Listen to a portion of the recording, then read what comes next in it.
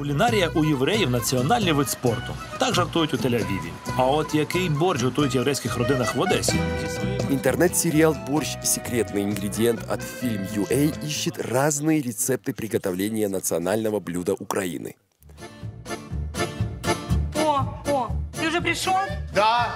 Ты все купил? Слушай, точно по твоему списку. Проходи. Я даже сэкономил.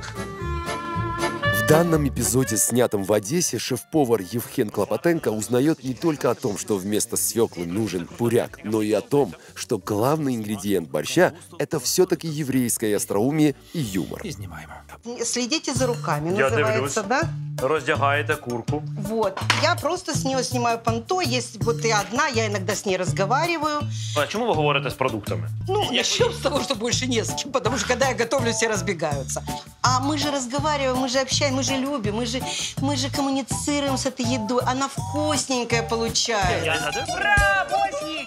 Сделав вывод, что характер и ценности людей, готовящих и употребляющих борщ, гораздо важнее его ингредиентов, автор и продюсер Наталка Якимович сняла весьма занимательный сериал.